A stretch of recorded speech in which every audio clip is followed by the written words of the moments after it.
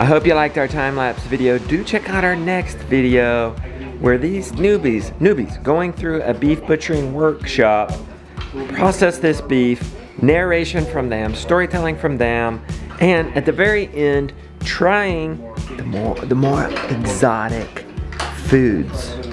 Liver, oh, we didn't try tongue. We didn't try tongue. But we got liver, tail, heart, marrow. What other funny stuff did we eat? Foxtail?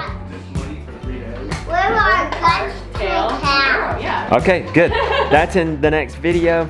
Also, we're gonna be giving away like a 60 something page ebook on why you do this at home and begin touching base on how to do it. And we'll also talk to you about in tomorrow's video how if you want to actually learn this, get a part of this workshop, you can get the online digital version. We'll talk more about that tomorrow. See you then.